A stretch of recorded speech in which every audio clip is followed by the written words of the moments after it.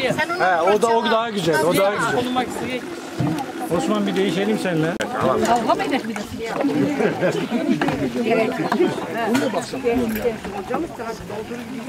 Senin ha. Tamam. Tamam gelin bir kişiler. 64 yaşındayım. Ee, 13 yıldır mahallede yaşıyorum. Su- e, Su sıkıntımız hat safhada. Oldukça muzdaripiz. Hatta şu su aldığımız e, hayrına yaptırılan bir çeşme. Ancak e, daha önceki yıllarda OSKİ geldi bu çeşmeye olumsuz rapor verildi. Bu suyun içilmesi imkansız. Ama mecburuz buna. E, oldukça tehlikeli bir şey. Su sorunumuz bir türlü bitmiyor. Kaldı ki yollarımız da, ara yollarımız çok kötü. şey geldik. İstanbul'da yaşıyoruz. Buraya iyi kötü bir mekan yaptırdık. Ondan sonra geldiğimizde geleceğimizde pişman olduk. Kardeşim. Yani yollarımız, evimizin önünde yollarımız perişan. Ondan sonra su yok. Efendim. Burada bu halleri gördükçe e, vallahi işler acıdı diyoruz. Yani vallahi Allah Allah bize kolaylık versin diyorum. Bir an önce devletimizin, milletimizin bize hani bu e, halimizi görüp bizlere buraya bir e, su temin etmelerini rica ediyoruz. Gülsoy ismim Sevindik. Suya gidiyoruz. Önce su getirmek zorundayız. Binek arabamız, aracımızla. Beş kişinin binebileceği bir arabayla biz bidonlarla su taşıyoruz. Daha sonra şey yapıyoruz. Kahvaltımızı yapacağız.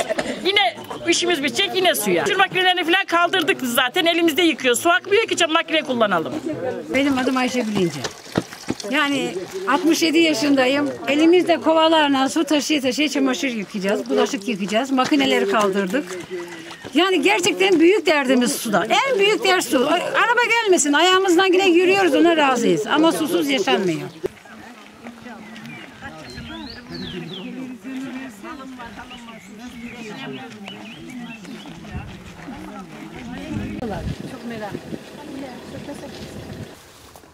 Kamuya ait 60 tonluk bir deposu var mahallemizin. Çayralan belde belediyesi iken yapılmıştı. Ee, 5-6 ay kadar bu depodan su içildi. Ancak daha sonra e, bazı nedenlerle sular kesildi. E, komşu köyün e, komşu köyden bazı insanlar suyu kesti falan. Şu an bu depo yaklaşık 12 senedir atıl durumdadır ve kamuya aittir. Yani mahallemize e, su getirilmiş olsa e, suyun altyapısı hemen hemen hazırdır. Yani bir maliyettir neticede ve hazırdır. Suyun altyapısı da budur zaten. Geriye kalan e, teferruattır, hortumdur vesaire.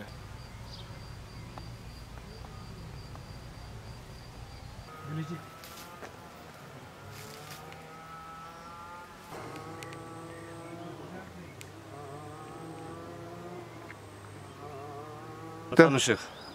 45. Vallahi ben doğduğumdan beri aynı şekilde. Bu sıkıntıyı çekiyoruz. Ha işte yağmur yağdı inemiyorsun. Ambulansın gelmiyor. İki tane ihtiyar ağa burada yaşlı. Ondan sonra biz hadi gurbette yaşıyoruz.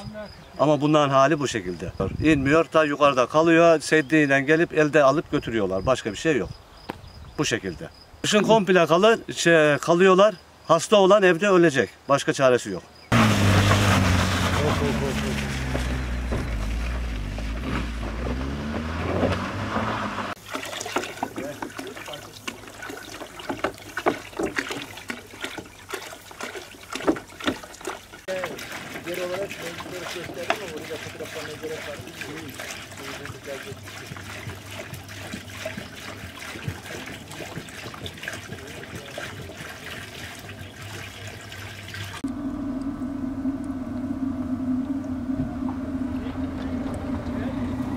Osman Sevindik efendim. Yağmur sularıyla e, lavaboda sağda solda giderlerimizi tamamlıyoruz. Akarsulardan getirdiğimiz sularla yani içme suyunu telafi ediyoruz.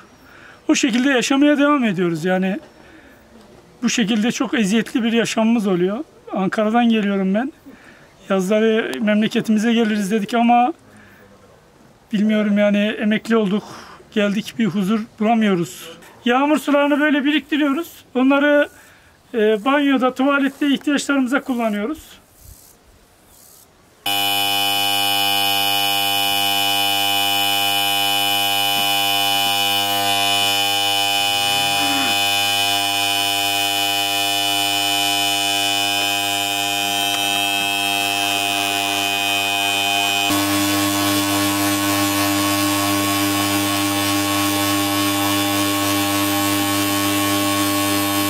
Doğan Sevindik. 60 yaşındayım. 3 yıldır e, eşimden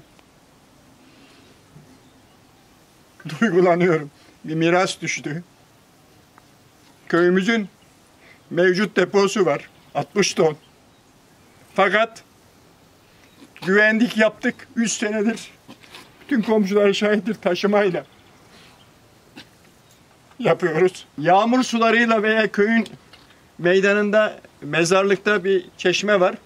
Oradan yani yıkanacağımız veya çamaşır sularımızı oradan alıyoruz.